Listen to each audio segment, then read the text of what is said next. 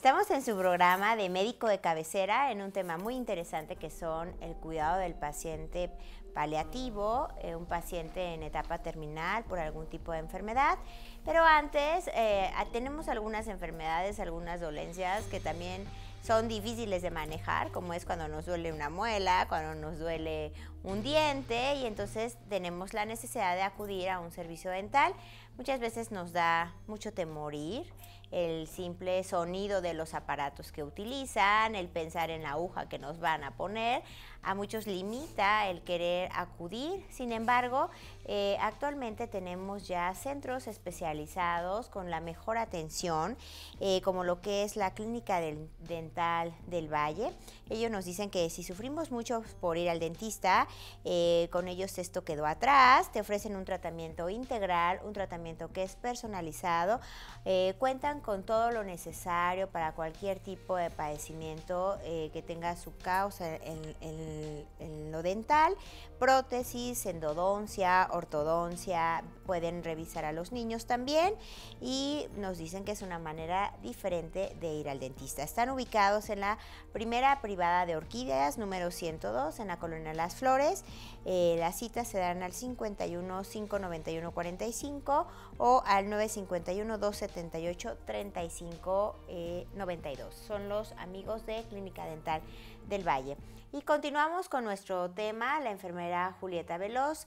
Eh, sacaremos aquí, la seguiremos exprimiendo de su, de interesante tema. Y vamos a ver, a mí me gustaría eh, conocer si en alguna de nuestras instituciones cuentan con alguna clínica bien establecida de cuidados paliativos. Sí, en el Hospital Civil, el, el Hospital Aurelio Valdivieso, tenemos una clínica de cuidados paliativos.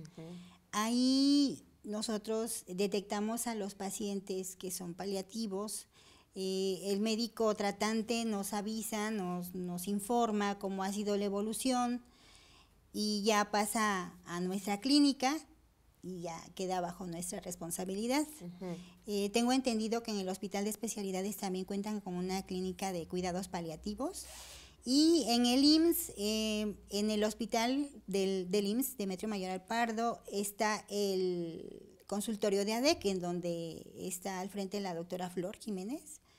Y aunque no está establecido como una clínica de cuidados paliativos en forma, ella otorga cuidados paliativos a los pacientes que, que están bajo su cuidado y lo hace de, de manera domiciliaria ella va al domicilio, de los pacientes. Okay. Por aquí es importante, ahorita vamos a hacer mención de que hay una atención de cuidados paliativos en el hospital, una atención de cuidados paliativos en el domicilio.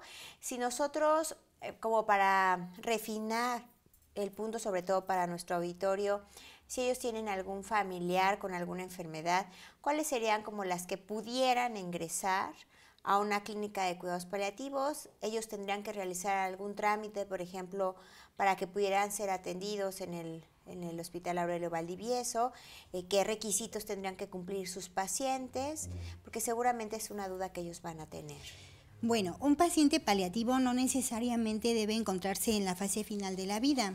Hay pacientes que por el padecimiento en sí son pacientes paliativos, por ejemplo, los pacientes con enfermedad pulmonar crónica obstructiva es un paciente paliativo porque su capacidad pulmonar o su función este, pulmonar ya no va a ser rescatada y que se limita mucho su estilo de vida. No pueden correr, no pueden caminar, inclusive para levantarse de la cama les cuesta bastante y muchas veces dependen del oxígeno al 100%. Ellos son pacientes paliativos. Ah, otro tipo de paciente paliativo es un paciente cuadripléjico que por alguna por algún accidente eh, haya tenido la mala fortuna de tener sección medular y que no pueda moverse de los hombros para abajo, para que nos puedan entender. Las personas son pacientes que quedan completamente inmóviles o pacientes neurológicos que después de un accidente o de una cirugía eh, se lesionó el nivel neurológico y que están en estado de coma o estado vegetativo persistente pero que no van a fallecer en un lapso de seis meses, como marca eh, este, la bibliografía de cuidados paliativos. Ellos son pacientes paliativos también, porque ya no podemos rescatar su salud, pero también debemos eh, quitarles el sufrimiento porque son pacientes que quizá nosotros, por ejemplo, un paciente con, en estado de coma, nosotros no sabemos si le duele, si nos escucha, no, no, no, porque él no nos puede decir, pero nosotros sabemos cuáles son sus necesidades. Él puede estar sufriendo físicamente, si no lo movemos, pues puede ulcerarse. Entonces, si alguna persona tiene pues eh, en casa algún paciente que ya no pueda ser rescatado del padecimiento y que el médico ya le, dijo, ¿sabe qué? La medicina curativa no le puede ofrecer nada, es un paciente paliativo. Y bueno, si cuenta con, alguna seguridad social, pues puede acercarse a su médico familiar y ya lo derivará al, eh, en el caso del IMSS, al, al consultorio de ADEC con la doctora Florecita. En el hospital civil tendrá que ir, por ejemplo, a su clínica, de, a su centro de salud que le corresponda y él le tendrá que dar una referencia o un envío a la clínica de cuidados paliativos y ahí con mucho gusto los vamos a, a aceptar. Ok, esta clínica, por ejemplo, en el Aurelio Valdivieso, ¿cómo funciona? Imagino que va el paciente, va el familiar, les dan como tal vez como consejos de lo que tiene que hacer en domicilio. Ahí quisiera que nos dieras como esa diferencia de la atención en un hospital a una atención domiciliaria, porque platicábamos, no recuerdo si con la doctora Flor o con el psicólogo, sobre que muchas veces nosotros nos aferramos a que el paciente esté en el hospital, esté en el hospital, esté en el hospital, y, y tal vez no sea lo mejor para el paciente estar en el hospital, tal vez ese paciente quisiera irse a su casa, estar en su cama, estar en su cuarto, con su familia, con, su familia y tal vez nosotros, nuestro papel es enseñarle a la familia, movilizarlo para las úlceras, qué es lo que debe alimentarse, no lo sé. Quisiera que nos hicieras una diferencia entre cuál es el papel de los cuidados paliativos intrahospitalario y eh, cuánto tiempo se recomienda y también el papel del cuidado paliativo en, en domicilio. Claro.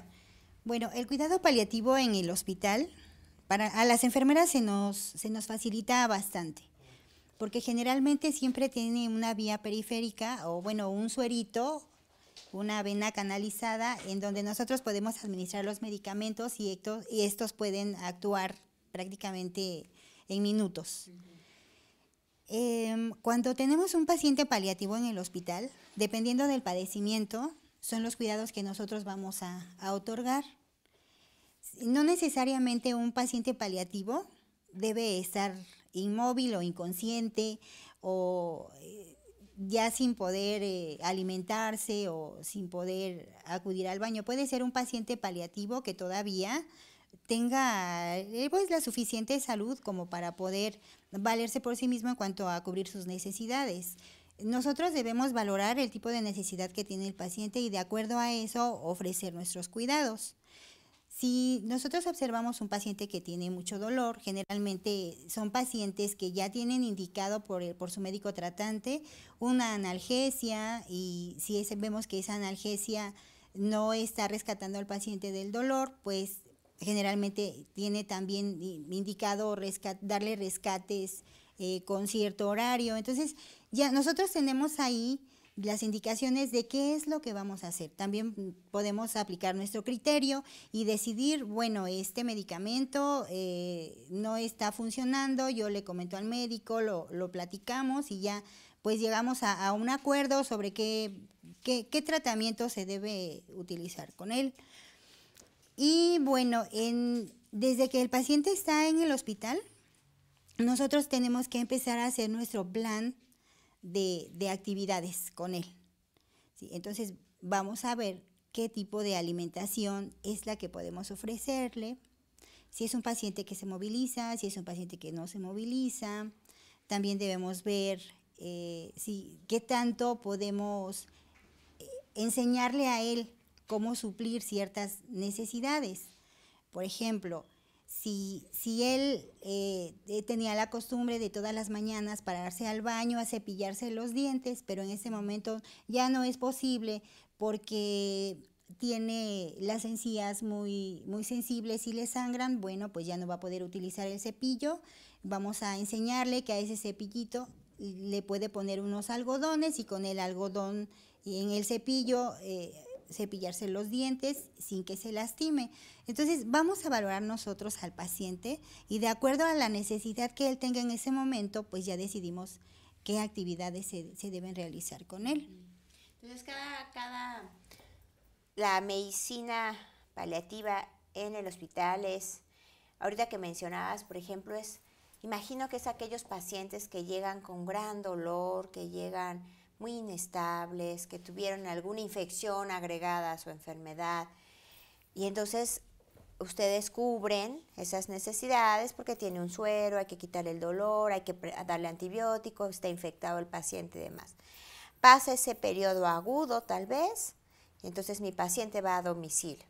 Y en domicilio el cuidado es diferente, es más como cobijar tal vez, o esa no sé si es correcto esa apreciación, es diferente la medicina hospitalaria de cuidado paliativo a la medicina en domicilio de cuidado paliativo. Pues las necesidades generalmente son las mismas, tanto en el domicilio como en el hospital. En, el hospital tenemos la ventaja de que podemos tener al paciente con un suero y a través del suero administrarle los medicamentos. Una vez que el paciente ya eh, se ha decidido que debe egresar porque ya no se le puede ofrecer más o porque él decidió que quiere ir a su casa o porque ya mejoró del cuadro agudo que tenía en ese momento, pues se va a su domicilio, pero las necesidades van a seguir siendo las mismas.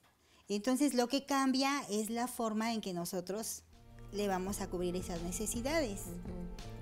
Ok, estos pacientes, ustedes que han trabajado tanto tiempo con ellos, ¿qué es lo que más piden? ¿Ellos les gusta estar en el hospital? ¿Prefieren estar en casa? Ellos prefieren estar en casa.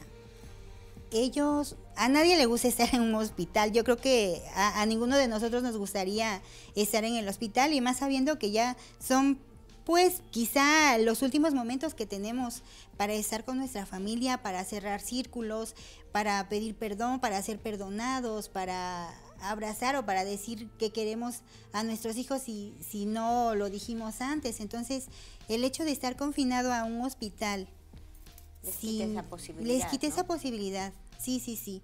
Y la mayoría de los pacientes, créame, si no es que todos quieren estar en su casa. Muy bien. Pero, ah, perdón, ¿eh? pero a veces nos aferramos tanto, tanto el personal médico como la familia, que no, le, que no les damos esa posibilidad. Venimos en un momento, estamos en su programa.